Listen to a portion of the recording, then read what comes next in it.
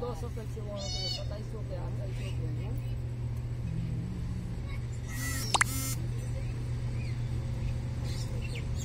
होता है, कहीं अगर बैठी के बोले तो। पहले होते तो उनतीस के बोले